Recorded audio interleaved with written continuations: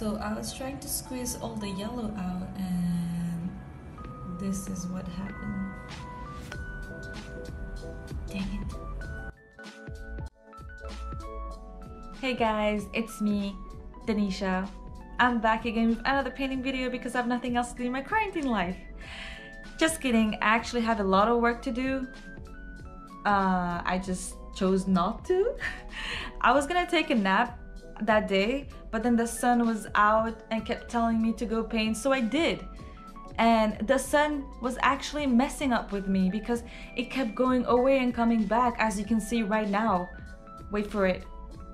Here, it's gone, and then it comes back. Hello? Hello? Oh, here you are. Oh, bye, sun.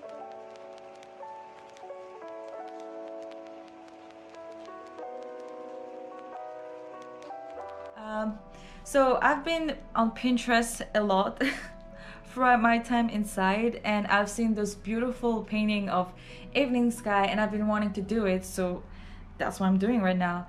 I basically started with a blue background. I was kind of referencing off a picture but it doesn't look anything like that. I got frustrated at this point and I was like it, it looks just like a mess but I think at the end it came together because I just kept adding colors of the clouds.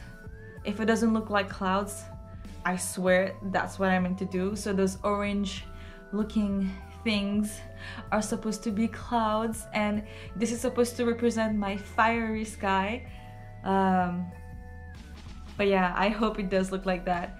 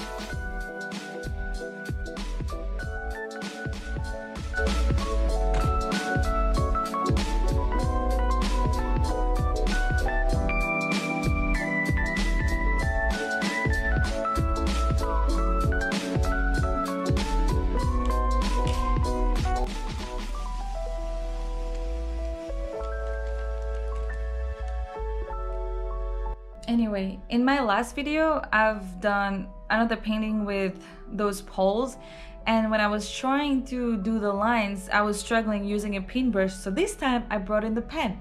So it's fine. It has fine details. So yeah, that's what I did. And again, the sun just left me for good. At this point, it was probably 5 p.m. and that's why I had to add this light and yeah. We're not gonna talk about what just happened. I hope it never happens again. Okay, so never leave the tape overnight because I don't know when it dried or something.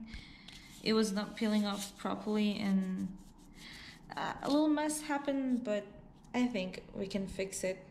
Alright, so I was able to fix the mistake using just white paint and I think it turned out pretty decent. If you don't think so, let me know down below. But I had a lot of fun painting it, so I hope you guys had a lot of fun watching me paint. And I guess I'll see you in the next video. Allez, bye!